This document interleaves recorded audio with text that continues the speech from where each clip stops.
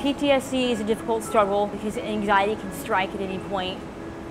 It can be difficult to function at a job, function when in relationships, because your anxiety might strike out of nowhere.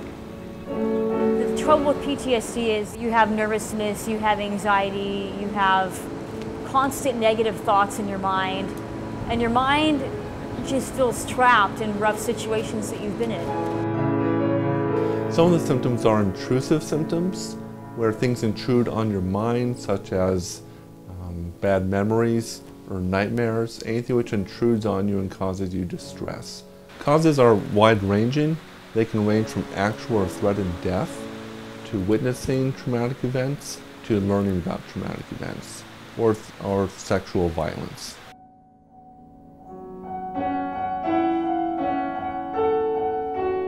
I did four years in the Navy and I went to about eight different countries. I was a Master at Arms. When I was deployed, there was a keyboard in the chapel and I would go in there and I would start teaching myself composition. Composing music helps me because you're focusing on a new future for yourself. It kind of gives me an outlet to sort of express myself and my emotions and it gives me something big to look forward to kind of like the greater voice is outspeaking the negative voices in your head that PTSD brings along with.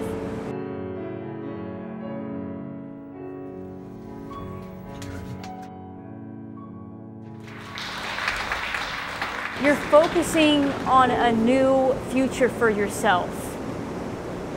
And you're not going to carry the things that you've gone through in your past into your future.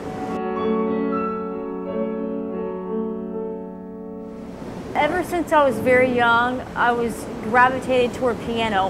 And all I knew was at that age that I wanted to be on stage performing piano.